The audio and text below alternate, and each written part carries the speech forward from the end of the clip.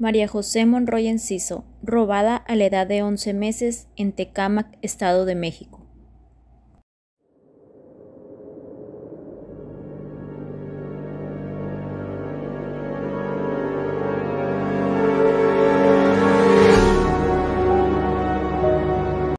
El 21 de septiembre del año 2010, Maribel Enciso laboraba en su local de optometría al lado de su pequeña María José de 11 meses.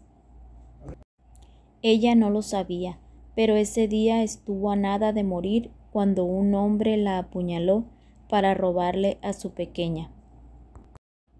A pesar de que el raptor ya está en la cárcel, las autoridades no han podido dar con el paradero de la menor que el 14 de octubre cumpliría 12 años de edad.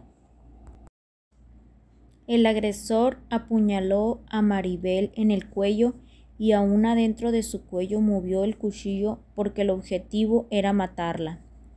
Ella se desangró. Pudo ver que el hombre ni siquiera buscó dinero en la caja registradora, porque él iba por la niña. Ocho días después, Maribel despertó en una cama de un hospital. Una traqueotomía de emergencia salvó su vida. Gracias a testigos que la vieron salir arrastrándose de su local, al cabo de un mes reconoció a su atacante en la televisión, Heiser, que en ese entonces tenía 32 años de edad detenido por la violación de una niña de 14 años. De inmediato Maribel se presentó con su esposo en la Procuraduría mexiquense y contó su caso con la esperanza de hablar con el detenido y cuestionarlo sobre el paradero de su bebé. Pero el Ministerio Público la mandó a casa a esperar una llamada sobre su caso, que llegó al cabo de unos días. Heiser confesó el rapto de María José y reveló que a los pocos días la ahogó en una cubeta con agua. Envolvió su cuerpo con una cobija y la tiró al canal de aguas negras de Nextlalpan, Estado de México. Sin embargo, la familia no creyó en ese relato. La investigación que realizó al margen de la autoridad señalaba que dos testigos que vieron al secuestrador con María José en un autobús rumbo a Salamanca, Guanajuato.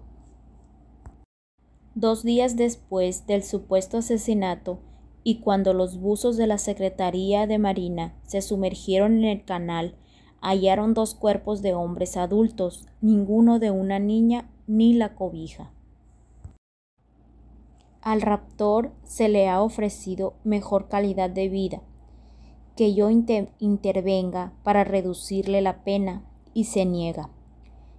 Está en una red de tráfico de menores en adopción.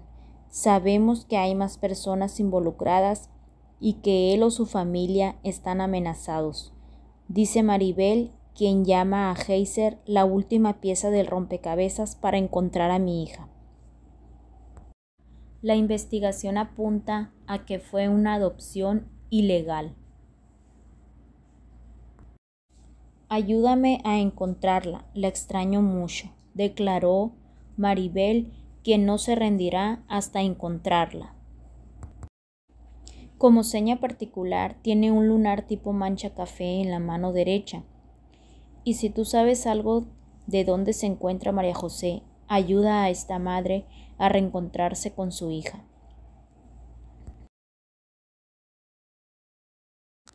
A través de un sitio web, madres de menores desaparecidos buscan a sus hijos.